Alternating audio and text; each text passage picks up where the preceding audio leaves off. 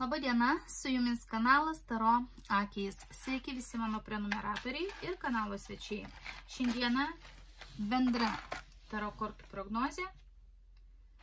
Ir klausimų, žinokite, aš nežinau. Klausimus galvoti aš šiandien nenusiteikusi, o ir jūs kažkokių klausimų neparašėte konkrečių, todėl šiandien prašysiu tokių gražių Lenormand kortų klausimus mums parinkti, kad kortos parinktų klausimus pačius aktualiausius auditorijai. Va, parinkit kortos, mielos, mano vienos mėgstamiausių. Under Roses Lenormand. Parinkite, prašau, tuos klausimus, kurie būtų patys aktualiausi mano prenumeratoriams, žiūrintiesiems, kanalo svečiams. Matot, kokia graži nugarėlė. Labai gražiai žiūrisi. Todėl dabar aš jas ir noriu išdėlioti pirmą nugarėlę į viršų, kad jūs irgi pasidžiaugtumėt. Tiesa, kokie klausimų? Kaip manot, kiek klausimų?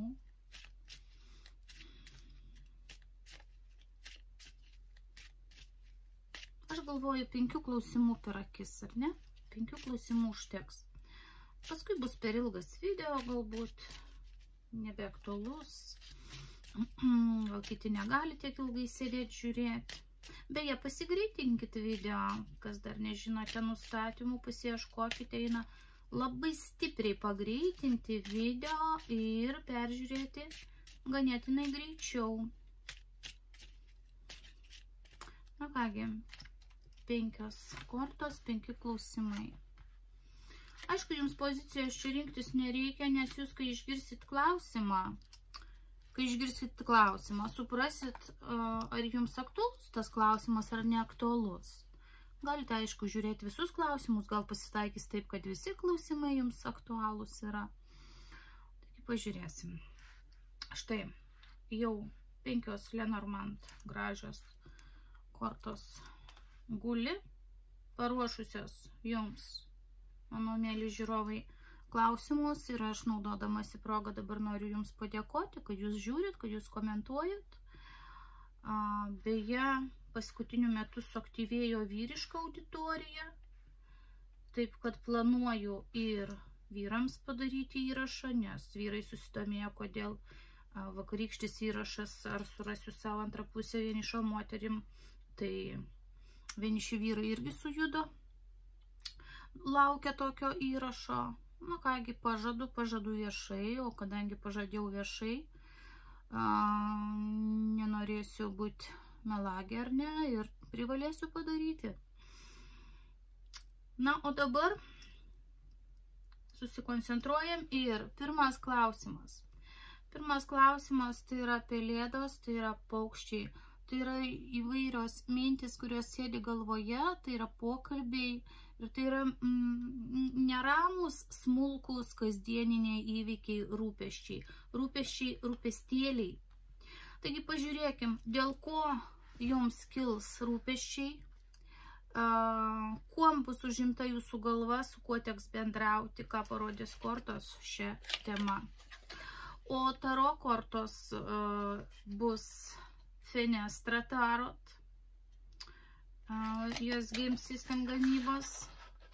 Fenestra Tarot yra gan arti klasikos vaizduojamos kortos jos turi irgi kitoj pusiai, matot, nugarėlę, kurioje irgi yra rožės ir nebereikalo aš taip trupučiuką paderinau. Galbūt jos šiandien su atsakymais irgi susidraugaus, susišauks. Pačios kortos, kaip pastebėjot, turi tam tikras specifines spalvas ir tik mm, visur vienodus atspalvius. Kiekvienoje kortoje persilieja tie patys atspalviai ir viena, vienas toks tonas. Na kągi, žiūrim, Fenestra Tarot, atsakys į klausimą, kas kels rūpeščių, kokios mintis jums suksis, su kuo teks bendrauti, kokias problemas lakstyti ir spręsti. Nes čia tokia samišio turbūt truputėlį korta, kuri rodo ir klausimą, kas jums kels nerimo ir samišio. Oi, iš karto aštuonios lasdos Aštuonios lasdos, beje, paskutiniu metu dar aš e, trupučiuką labai atsiprašau nukrypsiu nuo temos. Aštuonios lasdos paskutiniu metu esu pastebėjus yra neteisingai interpretuojamos ir net um, Google paieškoje įvedus kortų reikšmės, aš kartais vis, tai yra mano, mano, kaip sakoma, sritis ir aš vis patikrinu, kokia nauja informacija lietuvių kalba atsiranda. Taigi vertimas apie šitą kortą viename, viename puslapyje, nenoriu minėti jo pavadinimo, na, pirmiausia, kad jo nediskredituoti ir ne, ne, nekritikuoti, kitas dalykas, kad jo nereklamuoti. E, ten šita, šitos kortos reikšmė yra pateikiama kardinaliai priešingai. E, ten yra pateikiama, kad tai yra sustojimas. Jokių būdų tai negali būti sustojimas.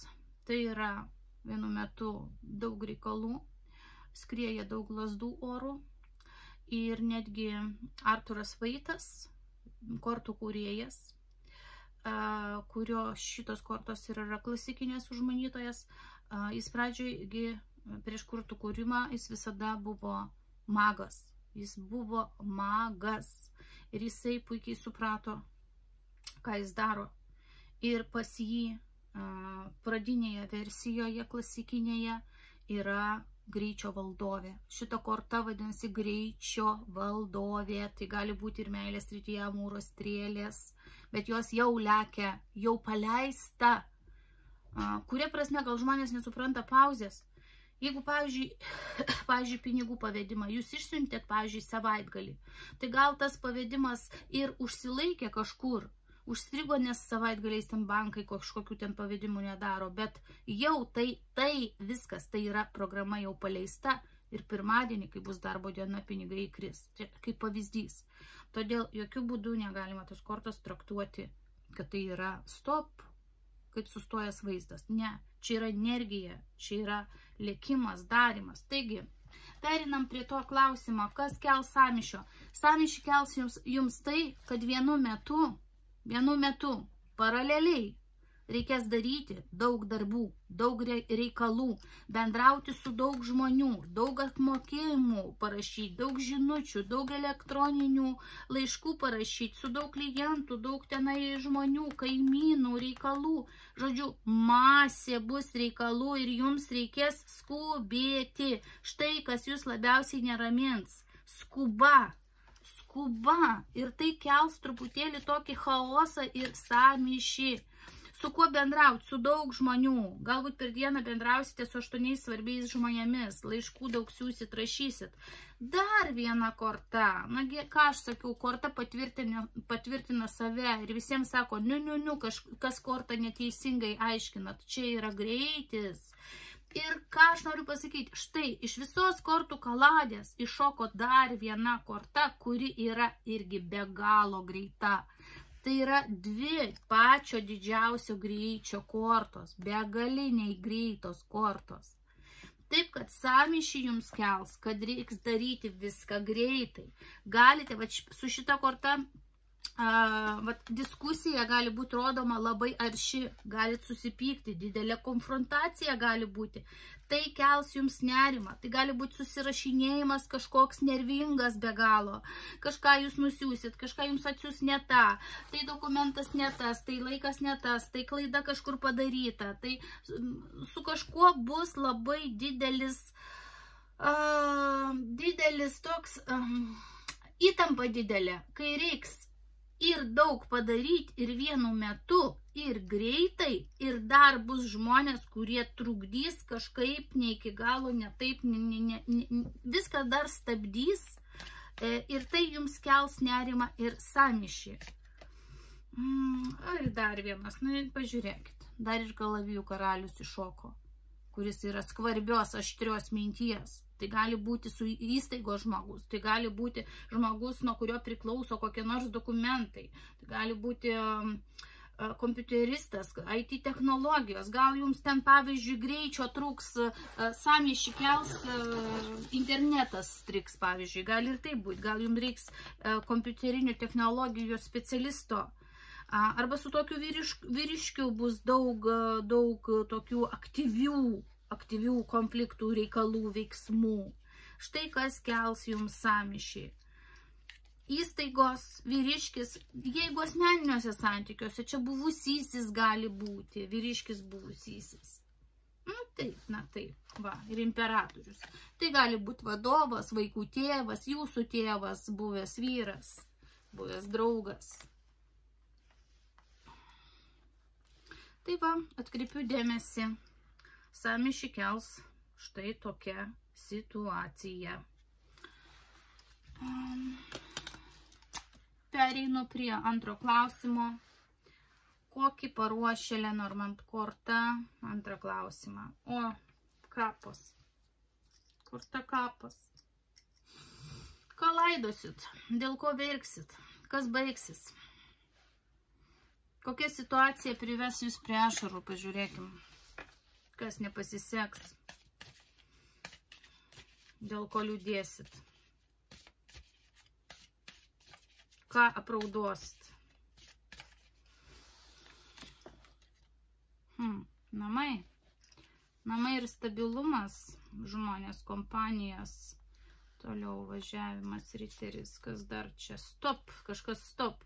Žiūrėkite, galimai jūs turite kažkokį tai planą, kad bus šventė, bus vakarėlis, bus pasimatymas, bus įkurtuvės, bus namų pirkimas, um, bus dar kažkas, jau ten gal ruošiatės, tarėtės, jau ten kažkokią komandą renkate, būrėte žmonės aplink dar kažką. Bet, bet, uh, bus pastrigimas, tiesiog pasakysiu taip, pastrigimas. Kadangi krenta tokia korta, mm, pakabintasis pakaruoklis, pakaruoklis, o čia dar kapas, pakaruoklis ir kapas. Čia aš nenoriu niekaip jūsų gazdinti, kortos labai jau čia, oi, man tai nepasitaikė. Gal kartelį maždaug, kad tai, taip tiesiogiai kortos parodytų, bet ne. Čia tiesiog pakips situacija. Jums kažkas sujauks situaciją, kas, kažkas tokio nutiks, kas sujauks jūsų šventę, kas sujauks jūsų planus, kas gali įsiveršti jūsų namus. Žodžiu, jeigu jūs ruošiatės pirkti namus, sandėris nusikels arba bus nevykęs. Jeigu jūs pamatėt skelbimą, ten kažką norit pirkti, sakys, jau parduota. Jeigu jūs norit nu, ten kažkokiu kreditų pasiimti, reiškia, jie bus labai dideli suprastom palūkanam, kažkur pakipsit, įkipsit, kažką prarasit. Todėl būtų labai gerai jums atidžiai, suprant, labai geros nuotaikos, kai jūs darysit kažkokius tai um, reikalus spręsite. Mhm, dar patikrinau. Įvertinkit. Įv pervertinkit ypač finansinę situaciją. Tai gali būti ir asmeninių santykių. Čia uh, lasdų riteris. Lasdų riteris žinot, ką, ką dar rodo. Kad jūs galite įsimylėti labai seksualų ugningą vyruką, praleisti su juo labai smagiai, smagiai, na, kokias keturias dienas, maksimum mėnesį. Ir tada santykiai išsisems arba pasibaigs. Viskas pakips. Jūs prisirišit, įsimylėsit, neįvertinsit situacijos, dėje jūs su juo pora nebūsit ir todėl verksit. Čia irgi kaip variantas.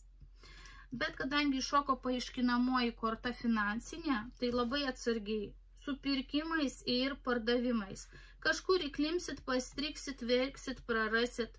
Pasižiūrėkit, kokią kainą mokat, pasižiūrėkit, kokią kainą prašot. Galit apsirikti. Trečias variantas. Kokįgi klausimą paruošė Lenormand korta. Kur netikėtumas? Pjautuvas. Pjautuvas pjauna rožę. Išlys kažkur netikėtumas. galimai nelaimė. Formuluokim taip.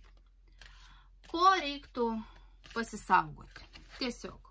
Tegul būna tai patarimas, ko jums reikia pasisaugoti, ko saugotis. Iš karto penkios taurės. Jums reikia pirmiausia saugotis emocinės būsenos, kai jūs mėginote savęs gailėtis, kai jūs net pradedate galvoti, oi, kam čia ir gyventi, jeigu taip gyventi, ir koncentruojatės tik į blogus dalykus ir į blogus akcentus. Jeigu mes analizuotumėm savo dieną nuo ryto iki vakaro, mes galime koncentruotis vien ties blogais dalykais, bet galime koncentruotis vien ties gerais dalykais. Deja, ties blogais dalykais koncentruotis mums sekasi daugumai žmonių daug greičiau ir lengviau, bet korta čia jums kaip įspėjimas. Pastebėkite, kas jums nusišypsojo. Pastebėkite menkiausius dalykus, menkiausią pagalbą, menkiausią sėkmę ir suprasite, kad ne vien blogi dalykai nutinka per visą dieną. Nes čia yra tokia korta. Aš jums net paaiškinsiu. Žmogus žiūri tik į apverstas taurės išsipylusias. Ir visiškai net nepastebi, kad dar yra stovinčių, yra kuo džiaugtis. Tai čia jums yra pavojus. Mhm. O šalia, o šalia yra krentančios devynios taurės, kurios, kurios veda žmogų į svajonės išsipildymą. Tai va, pavojus yra tame, kad jūsų svajonė nesipildys, kadangi jūs koncentruositės ties negatyvu. Va čia jums ir pavojus.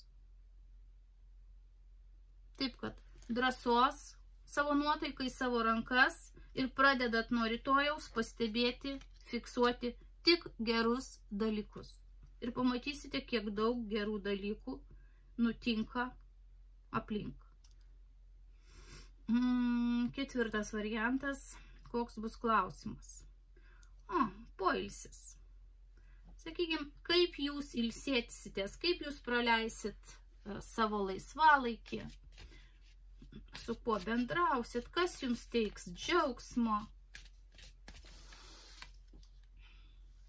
Žvaigždė galimai gražinsitės, eisit puošitės į grožius salonus, į sveikatingumo kažkokius eisit e, klubus, su kažkuo bendrausit internete, rašinėsitės, dėsit gražias savo labai nuotraukas, e, kokiam ten Instagram, Facebook, nežinau. Dar žiūrim planus naujus kursit, kūrybiniais planais užsiimsite. Žiūrėkit, High Priestess maginius dalykus žiūrėsite. Galbūt mano kanalą žiūrėsite. Nes čia tarologo korta, žinies korta.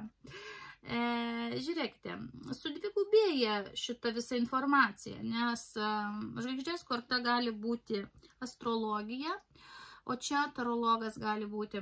Taigi, jūs mėginsite atsipalaiduoti, galimai žiūrėdami tokius, va, žinot, video, kurie susiję su pasąmonė, su savęs valdymu, kadangi čia prieš tai siejasi labai klausimas, kad jūs mėgstat, mė, nu, norėsit koncentruotis ties negatyvu.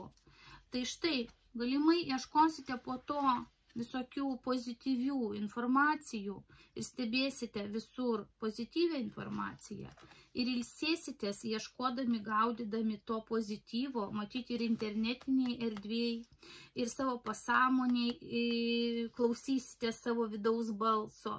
Galimai eisit kažkur, tačiau busit tokia, žinot, lik stebėtoje, gan taip pasyviai kas čia dar? Pasaulis. Eisit į pasaulį, pati elgsitės e, pasyviai, e, tačiau, va čia dvi internetinės kortos. Man toks jausmas, kad jūs labai bendrausite daug internetinė erdvėje ir ieškosite po pasaulį, galima sakyti, kažkokių tai slaptų žinių.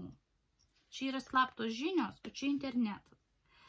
Šiaip kortos visos yra pozityvios. Aš manau, kad jūs atsipūsit, kad jūs laimėsit, kad to, ko ieškojot, jūs surasit. Viskas čia jums bus tvarkoj, žvaigždė jums šviečia kelią, intuicija uh, jums sujudės ir čia pasaulis, pasaulyje ta informacija yra. Gal čia yra internetas, gal yra realus pasaulis. Pažiūrėkime dar.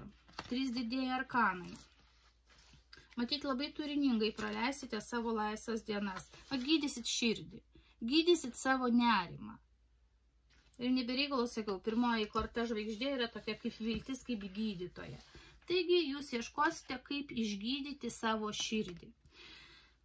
Taip pat socialiniuose tinkluose galbūt ieškosite ir pažinčių. Mėginsite jungti savo intuiciją ir išieškoti su šviečiančia žvaigždė po pasaulį kažkokio tai žmogaus, kuris pagydytų jūsų širdį. Aišku, aš jums linkiu sėkmės.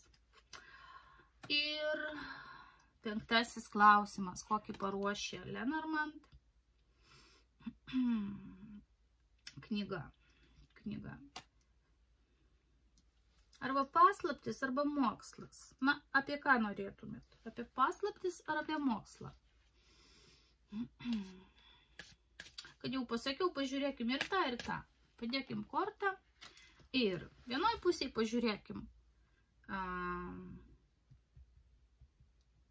kas nuo jūsų slepiama, kitoj pusėje pažiūrėkim, ką nori kortos jums pamokyti ir ka, ka, ko jums reiktų pasimokyti. Gerai, kas nuo jūsų yra slepiama? Informacija, iškart iššoko informacijos korta. Informacija apie veiklą, finansinė informacija. Arba čia, čia, čia yra šiaip žmonės, du žmonės čia irgi gali būti. Jaunas žmogus vaikas. Jeigu turit vaikų, vaikai kažką slepia, o čia jaunuolis. Tai gali būti ir jūsų, nu, reiškia, riteris, riteris. Jūs nepasiruošus išgirsti tos informacijos. Jums labai sunku. Mhm, kvailystė. Žiūrėkit, kažkokias tai rodomas kvailystės arba naujas kelias, arba tai susiję vis dėlto su vaikais. Nuo jūsų yra slepiama kažkokia tai informacija, ko jūs nepasiruošusi priimti. Jos gal jūs pati nenorite, žiūrėkite, jos matyti, suprantat? Jūs pati nenori, užsirišate akis. Žinot, kaip sakoma, užmerkiu akis į daugą. Nu, ir tai yra kvailystė, vifu. Gal į vaikų, į vaikų kažkokias tai išdaigas, gal į savo mylimojo. Gal užmerkėt akis, kad jums kraunama kažkokia tai našta yra ir jūs nenorit pripažinti, kad vis dėlto jums per sunku mm, ir jaučiatės kvailio vietoje.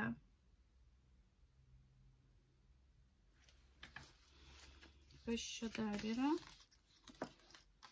Mhm. Čia žinot, kas gali būti?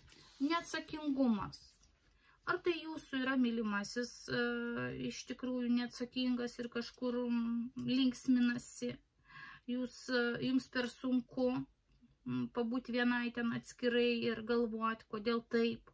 Galbūt jūsų vaikai kažkur išlėkia ir nesako kur ir ten nežinia su kokiom draugų kompanijom kvailioja.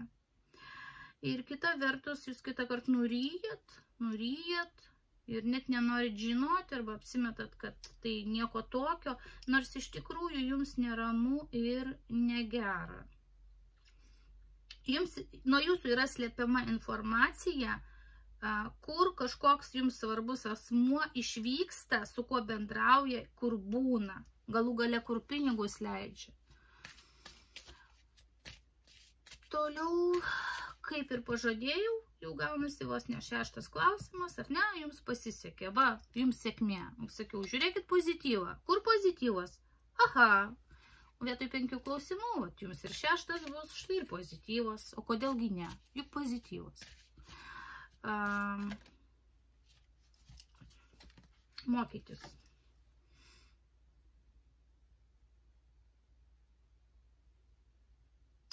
Dėl vaikišką arba draugų kortą.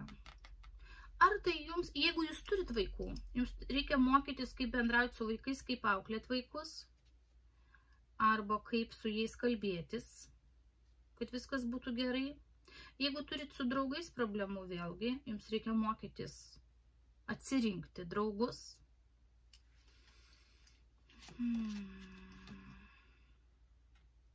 Toliau, jeigu tai atsižvelgti į seną schemą, jums reikia mokytis, kaip laviruoti įvairiose situacijose ir netgi kaip paskirstyti pinigus. Ką pirkti, ko nepirkti. Kam duoti, kam neduoti. Dar vieną kortą įmam. Prisikėlimas. Giminė, žinios. Angelas trimituoja, jums reikia kažką išgirsti. Paslaptingoji knyga rodo, kad jūs turit labai klausytis. Žinot, patarimas yra koks. Mažiau kalbėkit, daugiau klausykitės. Jums angelas neša kažkokią tai žinią. Beje, žinia gali ateiti iš praeities. Čia yra dar praeities korta. Žinia neša iš praeities, kad gali kažkas atvykti Bet tai, žinokite, yra susiję su, su giminė. Jums angelas neša žinę iš praeities, dabar žiūrėkit, jeigu jūsų giminiai yra kažkokia tai situacija, šeimoje giminiai situacija, kad jūs turite kažkokių juridinių reikalų, nes čia yra ir judgment, didžiojo teismo korta. Jeigu jūs turite teismus, notarus, advokatus, dalybas, paveldėjimus, tokius juridinius dalykus, tai klausykitės, neša žinę, kažkokią žinę, kurios jūs nežinot, slaptą žinę. Išsiaiškinkit. Jūs turit kažką išsiaiškinti, jūs turit kažko sulaukti. Kažkokios žinios sulauksit apie pinigus, giminės, paveldėjimą, žinia iš praeities, iš protėvių Žinia greičiausiai gera ir jums pozityvi, nes kortos šiaip tai pozityvios. Sulauksite gerų žinių. Toks buvo šiandien kortų skaitimas. Apkabinu, komentuokite ilgais komentarais, būsiu dėkinga ir su jumis buvo kanalas Taro Akys.